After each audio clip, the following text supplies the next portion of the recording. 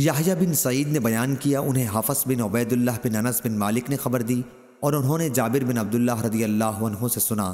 उन्होंने बयान किया कि मस्जिद नबवी की छत खजूर के तनों पर बनाई गई थी।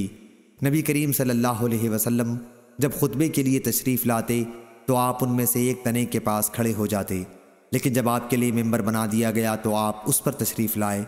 फिर हमने उस तने से इस तरह रोने की आवाज़ सुनी, जैसे बवक्त विलादत ऊँटनी की आवाज़ होती है।